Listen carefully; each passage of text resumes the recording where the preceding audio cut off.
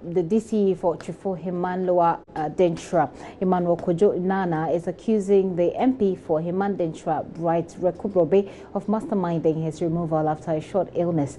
The DCE explains that a member of parliament was uh, opposed to his candidature as the district chief executive and used his ill health as a basis for his removal a few months ago.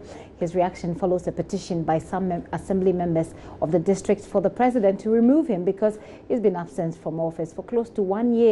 Joy News' Richard Kojonyako caught up with him in his office. So we are in the office of the District Chief Executive for Twifo Hemang Lower Denkyira, Mr. Emmanuel Nana. Mr. Ike Nana is in the office. And there have been some petitions by some assemblymen that he does not come to the office, and for that matter, they do not see how development has been going on. They have also been labeling or listing a number of financial malfeasance and supposed corrupt deals that are going on in his absence. With regards to the financial malfeasance and other things, I don't think there is any iota of truth in any of those allegations because everything that has been occurring since my illness. I have had opportunity to go through everything, and then I know everything that is happening in the assembly.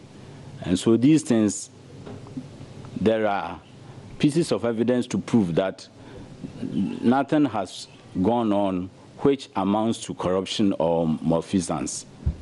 For example, they were mentioning uh, this road network that top has made top has already done the road and then we have also included it in our what do you call it? A plan that we are uh, or raised memo for it. That is never true.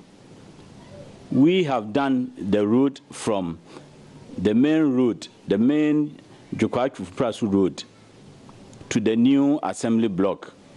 That is the only road that we have done and so we haven't done or we haven't raised any memo for any road that has been done by top.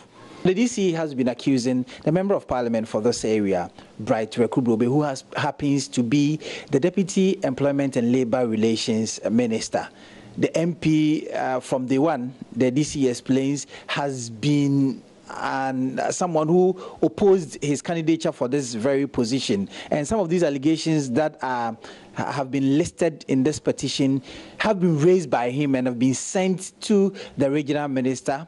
A committee was um, formed, and these the appropriate persons were also called to justify or corroborate these, and then they were all found to be frivolous.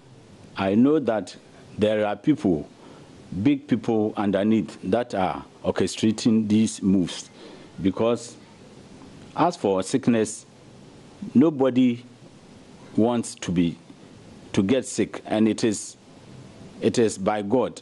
It comes when it has to come, and nobody has control over it. And so, when somebody gets sick, as human beings, we should be patient and then empathize with him.